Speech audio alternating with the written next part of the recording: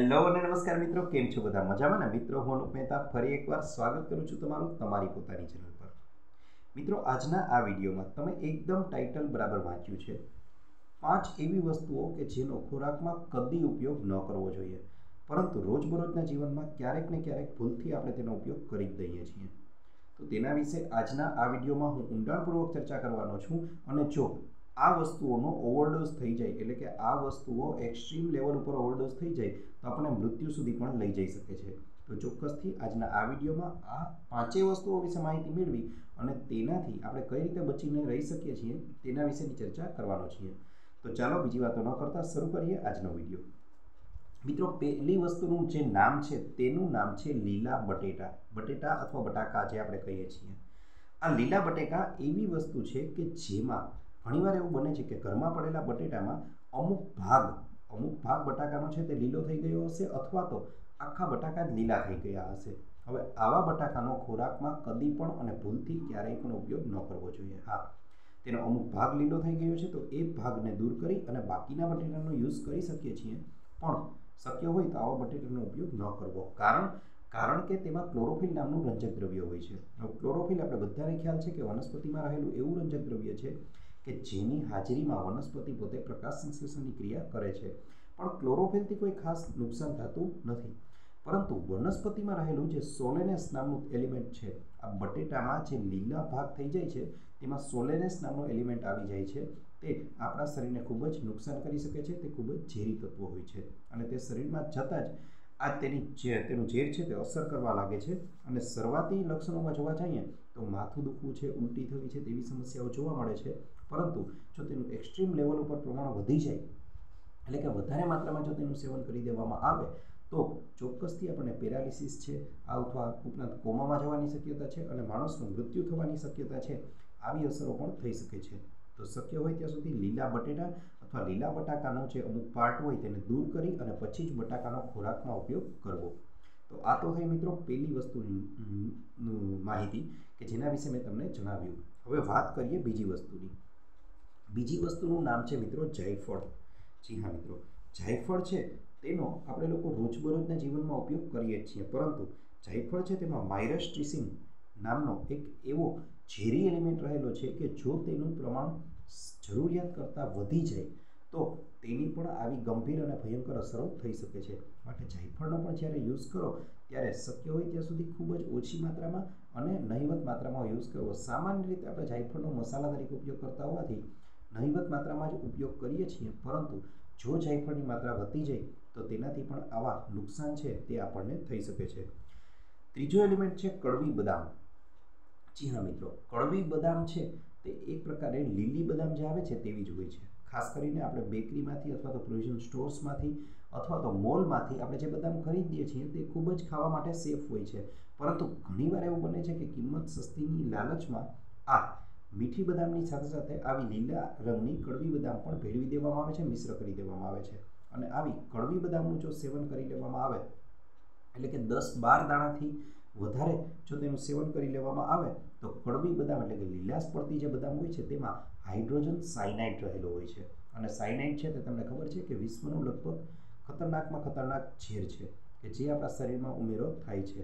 અને જો બાર પંદર બદામથી વધારે તેનું સેવન કરી લેવામાં આવે, તો એક સારો એવો હટ્ટો યંગ માણસ, એટલે કે યુવાન માણસ પણ મૃત્યુ પામી શકે છે, તેટલું એની અંદર ઝેર રહેલું હોય છે. માટે શક્ય હોય ત્યાં સુધી લીલી બદામનું સેવન ન કરવું. નોર્મલ બદામ જે છે તે આપણે ખાઈએ જ છીએ અને તેનું ખાવામાં સેવન કરી શકો છો. અને એમાં પણ જો શક્ય હોય તો પલાળેલી બદામ ખાવી. તેની ઉપરના ફોતરા છે, તેને દૂર કરી, તેની ઉપરની છાલ છે, તેને દૂર કરી અને વ્હાઇટ કલરનો પાર્ટ જે અંદરથી નીકળે, એ આપણા માટે ખૂબ સારો છે અને આપણી હેલ્થ માટે પણ સારો છે. ચોથી વાત કરવા જાઉં મિત્રો, તો ચોથી વસ્તુ છે રાજમા. જી હા મિત્રો, રાજમાનો આપણે ખોરાકમાં અવારનવાર ઉપયોગ કરીએ છીએ, પરંતુ રાજમા છે તેની અંદર લેક્ટિન નામનું ઝેરી એલિમેન્ટ રહેલું છે, ઝેરી તત્વ રહેલું છે.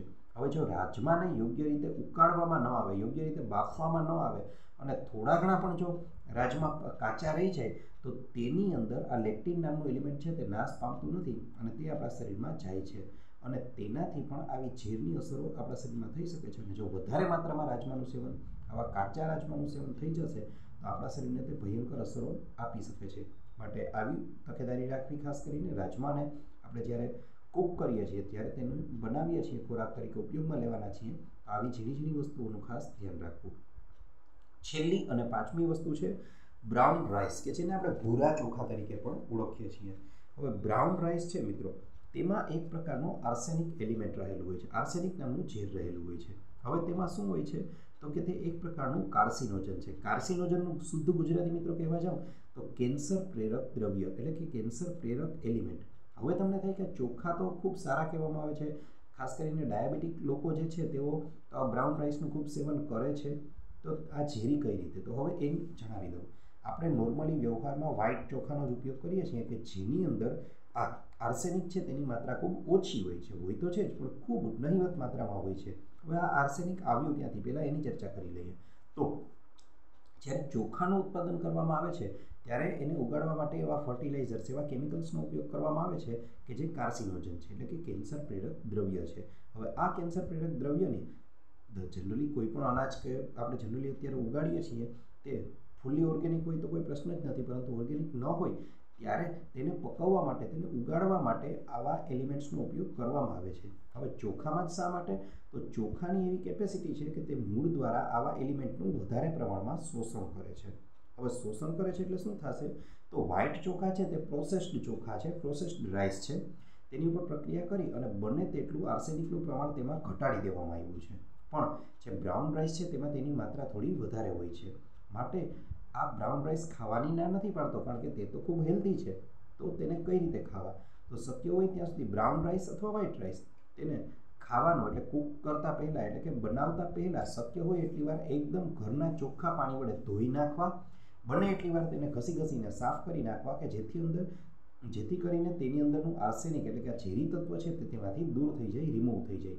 ત્યારબાદ જો શક્ય હોય તો આવા ચોખાને એકથી દોઢ કલાક સુધી પાણીમાં પલાળી રાખવા શુદ્ધ પાણીમાં અને ત્યારબાદ બનાવતી ભાત કે ચોખા કે જે તમે ખીચડી કે બનાવો છો, એ બનાવતી વખતે આ પાણીને દૂર કરી દેવું અને નવા પાણીમાં ચોખા કે ભાત બનાવવા કે જેથી કરીને તેમાં રહેલા આર્સેનિક એલિમેન્ટ છે તે શક્ય તેટલા ઓછા થઈ જાય અને પછી તેનો ઉપયોગ કરવો. મોસ્ટ ઓફલી આપણું ઇન્ડિયન કલ્ચર ગુજરાતી કલ્ચર એવું છે કે જેમાં આ પદ્ધતિથી ભાત કે ખીચડી બનાવવામાં આવે છે. માટે તેની કોઈ અસર થતી નથી, પરંતુ જો તમે આ રીતે ન બનાવતા હો, તો આવી તકેદારી રાખવી ખૂબ જ જરૂરી છે. તો મિત્રો, આ તો હતો અમારો આજનો વીડિયો. આપણે આ વીડિયો કેવો લાગ્યો? કમેન્ટ બોક્સમાં કોમેન્ટ કરી જણાવજો. વીડિયો ગમ્યો હોય તો વિડીયોને ચોક્કસથી એક લાઇક આપજો અને અમારી ચેનલને સબસ્ક્રાઈબ કરવાનું ભૂલશો નહીં. આપનો ખૂબ ખૂબ આભાર.